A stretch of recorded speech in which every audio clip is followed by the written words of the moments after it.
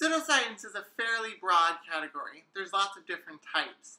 This episode explores just 10 of some of the ones that I hate the most. See if yours made the list on this week's episode of Think Skeptically.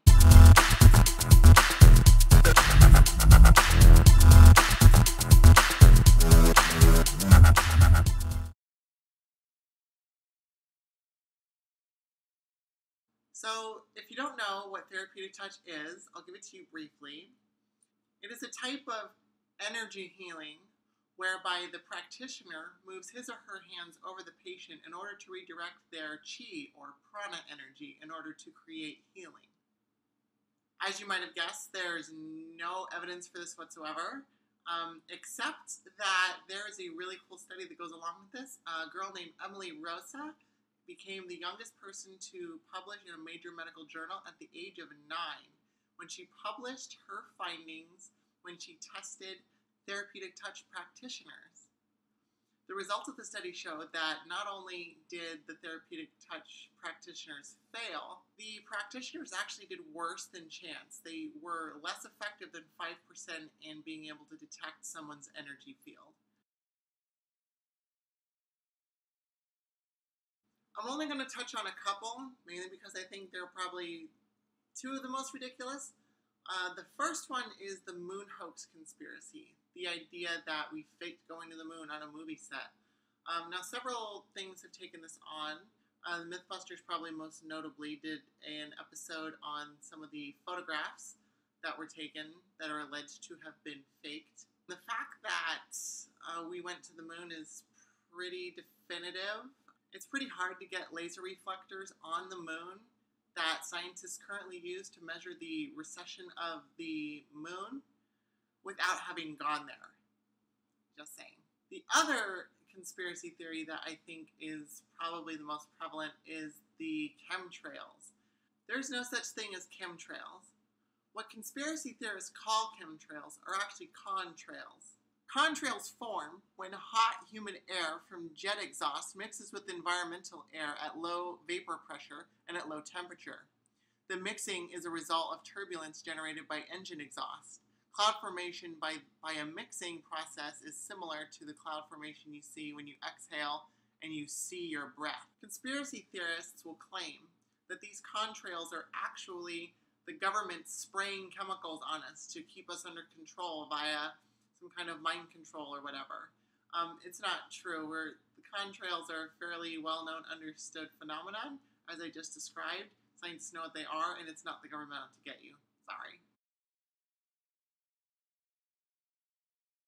So the word psychic is kind of a catch-all. It refers to any kind of fortune teller or medium, someone that can see into the future, speak to the dead, any kinds of those people.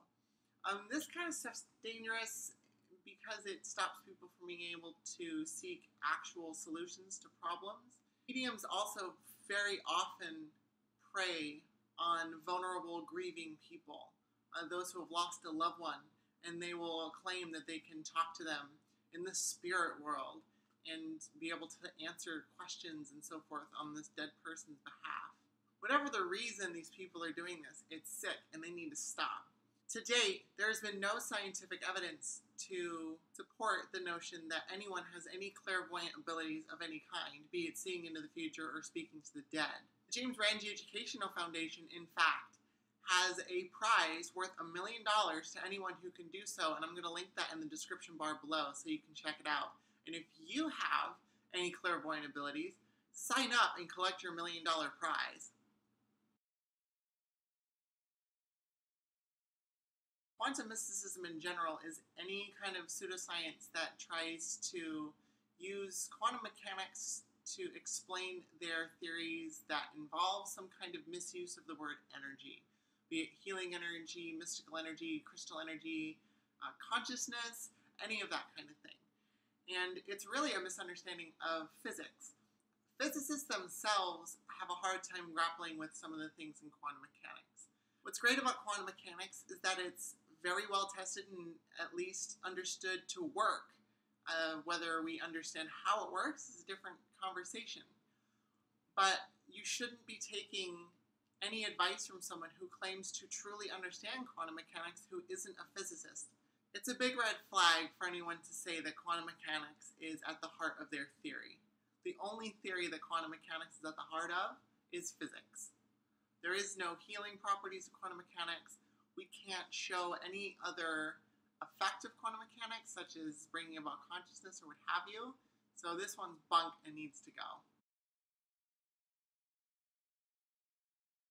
Naturopathy is a system of healing that uses entirely natural ingredients, everything from sunlight to water, air, plants, etc., uh, to bring about healing of certain diseases and ailments.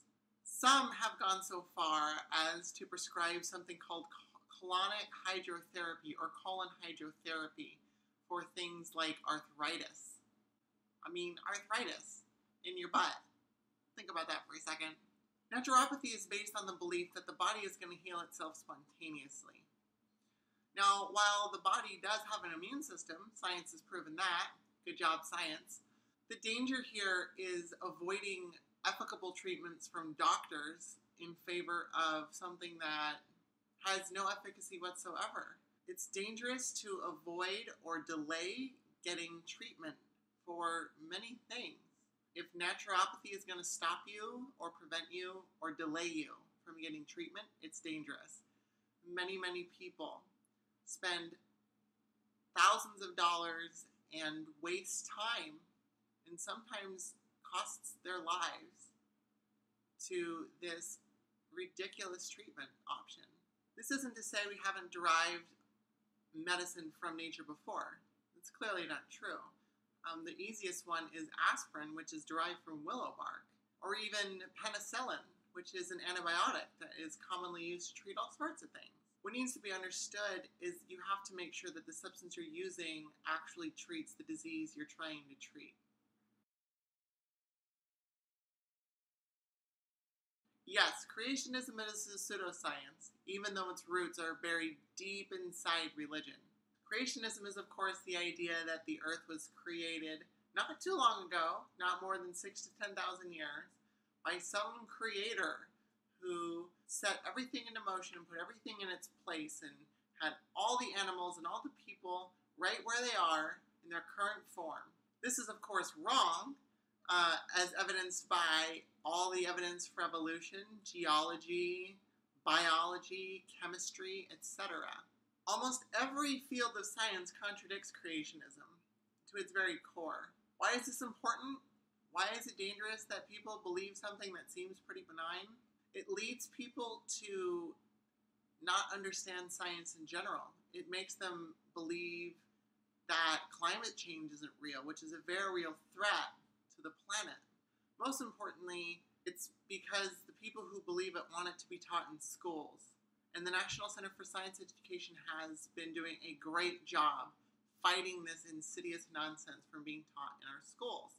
They want it taught in place of evolution or alongside it as some kind of legitimate theory, except that it has no evidence for it.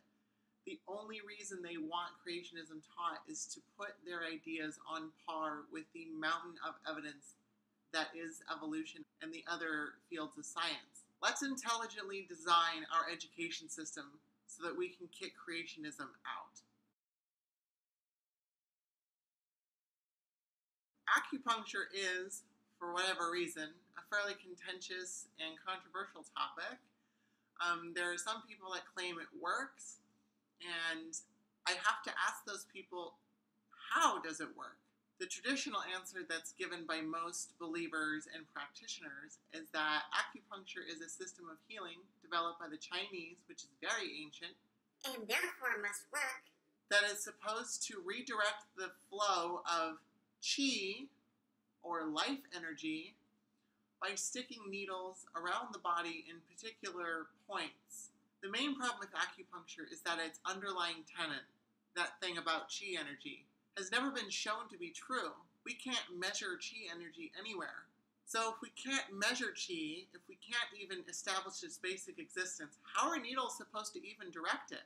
Like naturopathy, it's going to prevent you or delay you from getting proper medical treatment. Two, there can be serious side effects and serious complications that develop because of acupuncture. If you want to learn more about the harm of acupuncture or any other of the pseudosciences I've mentioned, you can go to what'stheharm.net. Homeopathy is the notion that you can cure all manner of ailments by diluting a substance that causes that ailment in solution until there is almost no trace of the curing agent in the solution. It's based on two basic principles. One, that like cures like, something that causes the disease should be able to cure it.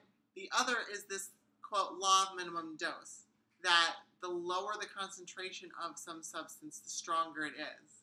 The problem with this is um, if you take a look at the world's oceans and the world's water supplies, the world's water supplies have had all sorts of things in it, ranging from dead dinosaurs to dinosaur poop to modern animal poop, all sorts of things. So, if homeopathy is true, then we should be drinking the most potent shit water on the face of the planet. Facilitated communication is a serious problem because the practitioners of this pseudoscience prey on the most vulnerable and desperate among us. The parents of and those suffering from things like autism and cerebral palsy, and mental retardation, and other forms of brain damage that don't allow the person to communicate at all or properly. Practitioners of facilitated communication Place their hand on the patient's hand, wrist, or arm, and with the other will help direct the patient's hand onto a board with letters or numbers or a keyboard, etc., in order to either spell out words or point to pictures to express a thought. There's absolutely no scientific evidence to back up that these people have any ability to help facilitate the communication of these people. The Conditions I mentioned are extremely serious trying to communicate with someone who is autistic or who has mental retardation or other conditions that don't allow them to communicate can be frustrating. It's things like facilitated communication that really anger me because these people are taking advantage of what may be the most desperate people and the most vulnerable people. It's immoral. And when people ask me, what's the harm of people believing certain things? It's things like this that I point to. This nonsense has to go. It's immoral, and there is no evidence to support it. Some of you might be surprised to see chiropractic on this list. The classical claims of chiropractic medicine rely on the notion of subluxations or misalignments of the spine. Now, while that isn't to say that there are certain spinal injuries that are cause of the misplacement of certain things, like I myself have a slipped disc in my lower back. A subluxation is a misalignment of bones that press on nerves that cause all sorts of medical problems. As with the rest of these pseudosciences, there's no evidence to support the notion. Chiropractors spend a lot of time and energy cloaking their pseudoscience in scientific sounding language and medical sounding language. Here are some facts about chiropractors you should know. Chiropractors don't go to a traditional medical school. They go to a two year trade school to learn this pseudoscience.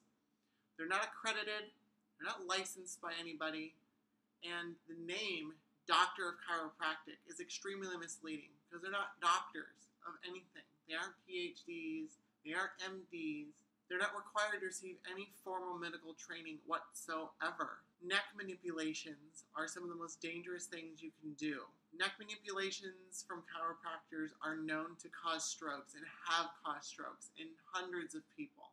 These chiropractors also will manipulate baby spines. Why is that stupid? Well, have you seen a baby's spine lately? A baby's spine isn't fully developed, which means that it has a lot more cartilage than ours has. Its bones haven't fully developed. So, for a chiropractor to claim that a baby's bones are misaligned is just stupid. Adjusting a baby's spine to cure it of anything is dangerous for that child, and it's child endangerment to take them to a chiropractor. So, I urge you, if you or anyone you know is taking a baby to the chiropractor, you need to stop. Chiropractors are number one on this list because they're seen as a legitimate form of treatment and health care. Among everything else on this list, they're probably the most respected, and for absolutely no reason. Chiropractors do not publish in major medical journals. Where is the evidence to support their claims? Chiropractic treatments don't stand up to scientific rigor, and as such, they should be discarded and ignored as a method of treatment. They prey on gullible people and will tell you that there's all sorts of misalignments, etc., in these images when there really isn't. See a real doctor, ignore the chiropractors, don't waste your money and put yourself at risk. Thanks everyone for watching this video. It was really fun to make. If you liked it, be sure to give it a thumbs up. If there are any pseudosciences you want me to cover in the future, please put them in the comments below. Thanks for watching, and I'll see you next week. Bye!